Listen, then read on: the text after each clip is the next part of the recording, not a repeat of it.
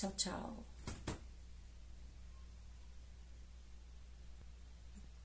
Fala galera, sou a Silvana, vim aqui de novo.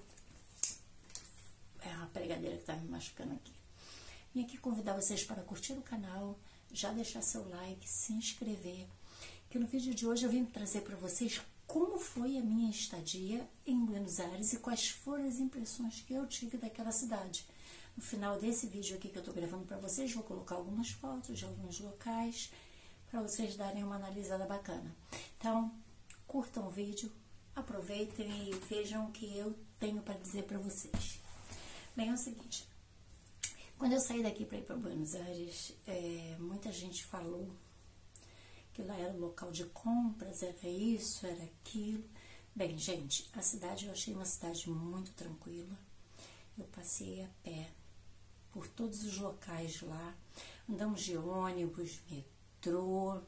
Realmente as coisas não são assim caras aos extremos, mas também não é nada, ó, tipo 10 reais ali na esquina. Não, não são. Parte de maquiagem que o pessoal falava que era muito barata lá, eu não achei. Entrei na Galerias Pacífico. O shopping é lindíssimo, o shopping da Galeria Pacífico. Só que só tem lojas de marca, coisas muito caras. Eu, assim, sou uma pessoa mais simples, não sou muito ligada em marca, sinceramente não ligo. Eu compro o que vai me atender bem e o que, tá, o que vale a pena para mim e que dá para o meu bolso. É, andei lá, gostamos bastante, olhamos tudo. Tem até uma look lá, que é a loja da Farmacêutica, uma loja especializada em maquiagem. Tinha até um perfume lá bem barato na look um tio antigo com preço muito bacana lá em promoção, que eles estavam vendendo, acho que estava 190 reais. Mas a gente também não comprou, nós fomos para conhecer. E não filmei nada assim da, da Galerias Pacífico, nem da Rua Florida. A Rua Florida, como é que eu vou dizer para vocês? Para você que mora no Rio de Janeiro, é uma rua tipo calçadão mesmo, que tem várias lojas, vários comércios e não é nada assim de outro mundo, é um calçadão de comércio assim, igual que você tem na sua cidade, sendo que é diferente porque, gente, nós estamos em Buenos Aires, então a gente vai achar que é diferente. Entrei em todas as farmácias que vocês possam imaginar, onde eu achei coisas mais baratas foi na farmacêutica, ela faz esquina com Peru e uma outra rua lá que eu não lembro o nome. Ela fica de esquina, é a farmacêutica mais barata que tem. Produtos de maquiagem. Eu não comprei nada, comprei mais, foi a parte de Nivea, hidratante. Comprei o Revitalift, porque era uma coisa que eu queria muito, mas eu achei aqui, gente, na Pacheco, na Pacheco, na, na Venâncio, barato. Pacheco tá até com uma promoção se você comprar dois produtos, é R$ reais, dois Revitalift. Então, não achei assim grandes coisas, não. A comida de lá, eu fiquei ali na Bolívar, na rua Nogaro, né? Edifício Hotel Nogaro, na, na Nogaro mesmo, 562 ali. O hotel é um hotel antigo, mas tem uma instalação boa, tem uma acomodação boa, uma ampla sala de estar muito bacana. Ficamos em frente a um prédio lindíssimo que tem ali, que eu. Esse prédio eu fotografei bastante e era assim, uma quadra da Plaza de Maio. Então, foi super tranquilo. Eu fui muito recomendada em relação a táxi lá, eu não peguei táxi. Eu comprei um cartãozinho, sub de metrô. A gente compra em cima, né? Que tem uns estandezinhos assim na rua. Você compra ali, depois você desce no metrô, você bota a carga e você anda de metrô, de ônibus, para tudo quanto é lugar. Esse mesmo cartão ele serve para tudo. Que aqui quem mora aqui no Rio de Janeiro é igual o bilhete único e aquele outrozinho rosinha que a gente trocou. Então, andei em tudo. Andamos tudo. A Plaza de Maia é a coisa mais linda que tem lá. Fizemos o passeio com o Brian, que é um rapaz que já fez turismo em Búzios, aqui no Rio de Janeiro. Nós encontramos com ele ali na esquina da Florida, ele fica ali perto de um monumento. Ele nos abordou e, gente, pasme. Você brasileiro é reconhecido lá? Vocês não sabem. Eu descobri, ele me falou.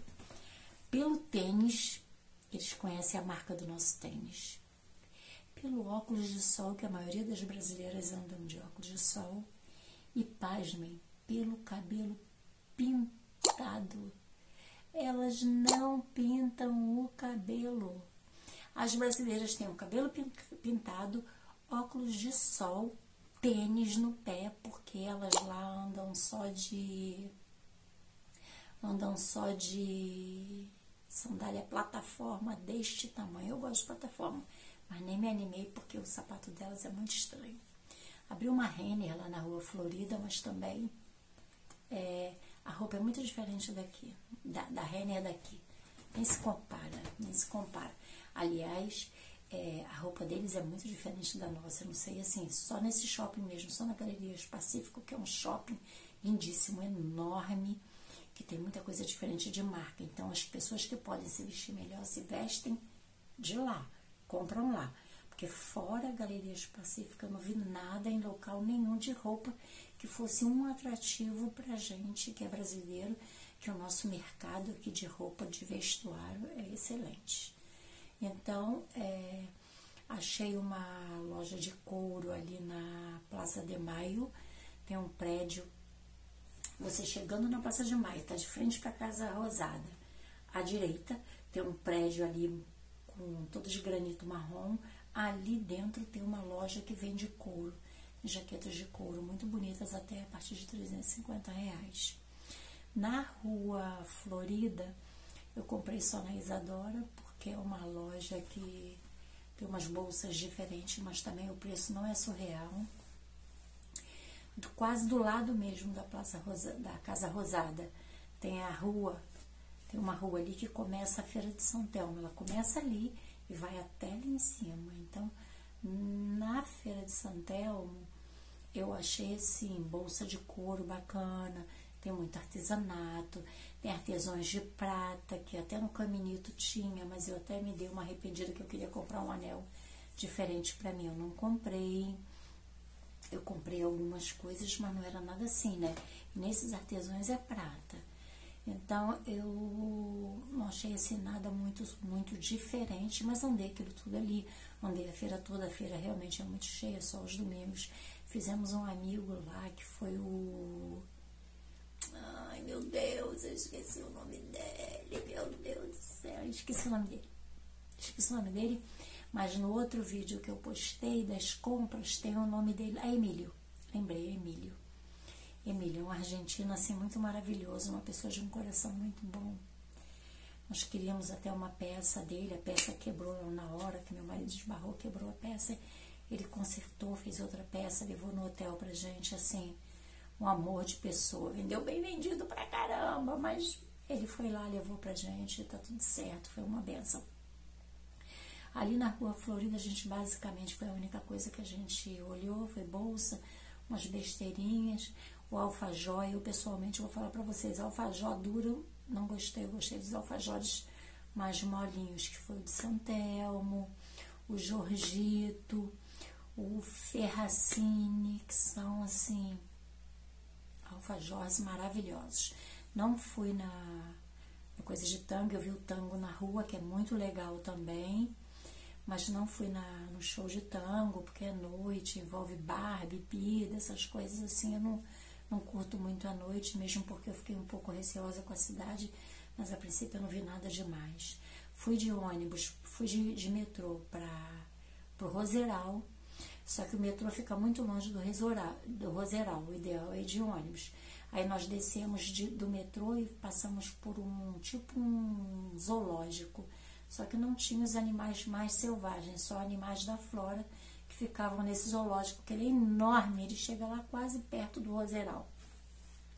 Nós andamos ali, conhecemos tudo, descemos, é uma estrada enorme.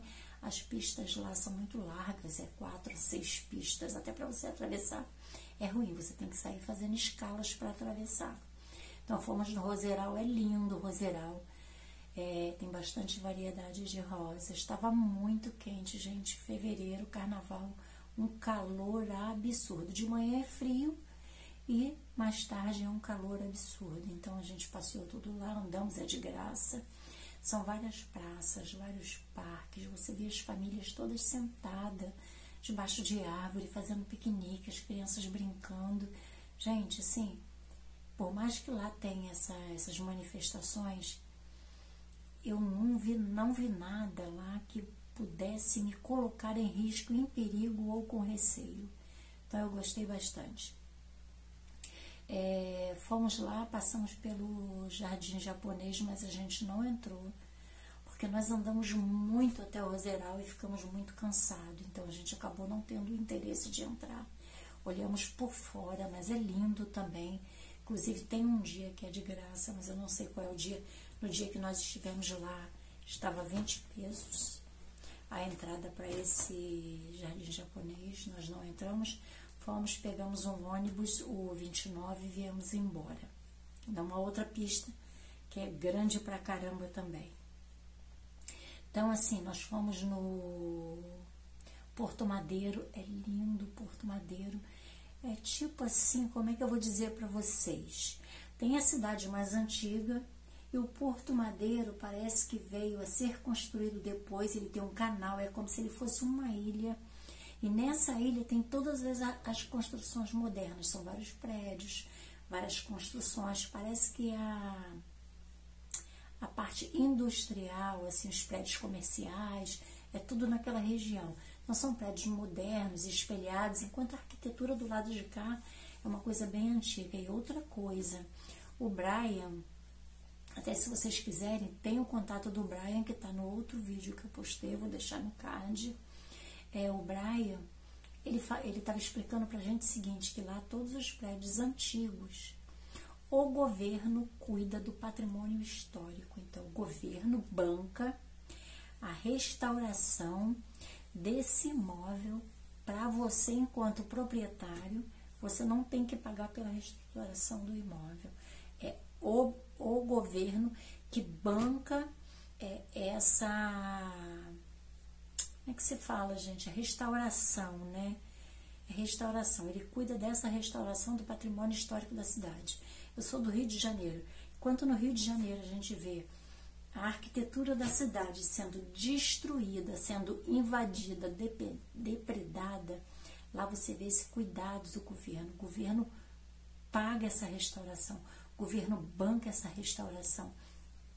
O proprietário e a população, eles não põem mão nessa restauração externa do, do patrimônio. O hotel que eu fiquei, inclusive, é uma construção antiga, mas ele tem toda a infraestrutura interna moderna. São assim, escadas muito grandes, corredores enormes. Eu vou botar a foto no final. Então, assim, eu amei. A flor, flor, é, Floride genérica também é linda. Do lado tem um prédio que é a Faculdade de Direito, que é maravilhosa. Vou acelerar um pouco porque o vídeo vai ficar longo e vocês vão parar pela metade. Por favor, assistam o vídeo todo, gente. Curte, se inscrevam no canal para que venha crescer, que eu venha fazer outras viagens e possa trazer as minhas impressões dos locais que eu fui para vocês. Eu amei Buenos Aires. Quem não teve a oportunidade de conhecer, vá, porque a cidade é maravilhosa. Não tive problema nenhum lá, eu andei tudo. Eu andei tudo que vocês possam imaginar. O meu mapa ele foi quase todo marcado. Eu fiquei lá cinco dias assim direto, cinco dias inteiros, né? Porque foram mais de dois de, de, de deslocamento. Mas assim, fui com a bagagem de mão, consegui usar toda a roupa que eu levei para esses cinco dias, usei, não passei aperto de frio, não passei nada, é, não fui para compras, comprei só umas coisas que eram necessárias. Agora, alfajor eu comprei lá no Caminito, tem uma, uma, um galpão que tem uma, uma feirinha, tem um argentino ali que vende ali chocolate ali com o alfajor ali com preço bom, ali dentro tem esses preços bons. Tem a feirinha, o caminito é lindo, não tem grandes coisas. Fui no Boca Júnior, é maravilhoso. O estádio, você paga 200, 200 pesos a mais. É 50 a entrada, 200 pesos a mais. Você vai no gramado, tira foto com a taça, traz a foto de lembrança, traz tudo. Eu meio que dei uma arrependida de não ter feito, mas aí eu visitei o estádio, eu visitei o museu, eu fiz tudo. Eu só não fui no vestiário fui na sala de imprensa, No vestiário eu não fui. Fui lá na arquibancada, filmei, fotografei, fiz tudo. É lindo, vale a pena. Vale muito a pena. Aí o pessoal fala, ah, o bairro é perigoso. Não, não achei o bairro perigoso, não vi nada demais, não aconteceu nada comigo, foi uma benção. A viagem foi toda maravilhosa, tranquila. Fiz o passeio no Rio Tigre. Olha, excelente. Confesso para vocês que quando eu peguei o barco, eu achei que eu ia dar uma arrependida no passeio, mas é um passeio maravilhoso. Ele te explica tudo, é um passeio bem, você aproveita bem o passeio, ele é muito bonito. Tem um parque lá na beira desse, desse lago lá, quando você faz o passeio para Tigre, mas eu também não consegui ir, que eu acho que até cinco dias foram poucos, né? Porque eu poderia ter sido mais. E fiz o passeio para o Uruguai, eu fui ao Uruguai, na colônia de Sacramento. Só que chegando lá, fiquei sem bateria, não levei o carregador portátil, não tinha onde carregar, não fiz quase foto nenhuma, não fiz nada, não subi no farol, não fiz quase nada.